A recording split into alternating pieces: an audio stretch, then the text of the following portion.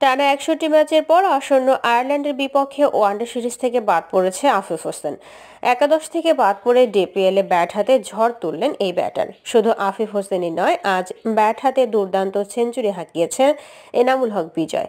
এমন ব্যাটিং করে আবারও জাতীয় দলে ফেরার সম্ভাবনা তৈরি করছে এই দুই ব্যাটার। তাদের সাথে দুর্দান্ত ব্যাটিং করেছে জাতীয় দল থেকে বাদ পড়া আরেক ক্রিকেটার মোসাদ্দেক হোসেন। ঢাকা প্রিমিয়ার লিগে যেন এনামুল হক বিজয়ের ব্যাটিং প্রদর্শনের সঠিক একটি জায়গা। গত বছর প্রিমিয়ার লিগে এক হাজারের বেশি রান করেছেন। ব্যাট করতে নামলেই পেয়েছেন সেঞ্চুরি কিংবা ন্যূনতম হাফ সেঞ্চুরি। এবারও সেই সেঞ্চুরি দিয়েই প্রিমিয়ার লিগ শুরু করলেন তিনি। জাতীয় দলে জায়গা পাকাপোক্ত করতে না পারলেও ঢাকা লিগে ঠিক নিজের পারফরমেন্স ধরে রেখেছেন এনামুল হক বিজয়। আগের বার এক হাজারের ওপর রান করে টপ স্কোরার হওয়া এই ডানহাতি top order cum wicket keeper batter এবার আবাহনীর হয়ে প্রথম ম্যাচ খেলতে নেমেই সেঞ্চুরি করেছেন।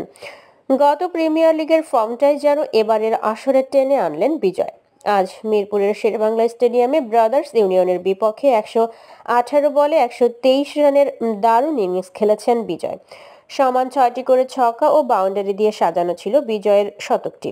সঙ্গে আরেক ওপেনার নাইম শেখও দারুণ ব্যাটিং করে শত রানের সম্ভাবনা জাগিয়েছিলেন, কিন্তু পঁচাশি রানে ফিরে গেছেন তিনি। চুয়াত্তর বলে এক ডজন বাউন্ডারি ও এক ছক্কায় ওই ইনিংসটি খেলেছিলেন তিনি। এ দুজনের একজোড়া বড় ইনিংসের সাথে আরও একজোড়া কার্যকর ইনিংস আছে আবাহনীর ইনিংসে। যার একটি খেলেছেন আফিফ হোসেন ধ্রুব, সাতচল্লিশ বলে পঁয়ষট্টি, অন্যটি মোসাদ্দেক হোসেন সৈকত, সাতাশ বলে ছিচল্লিশ। এছাড়া জাকের আলী অনেকও নিচের দিকে সাত নম্বরে নেমে এগারো বলে ছাব্বিশ রানের ঝড়ো ইনিংস উপহার দেন। তাতেই রান পাহাড় গড়ে আবাহনী।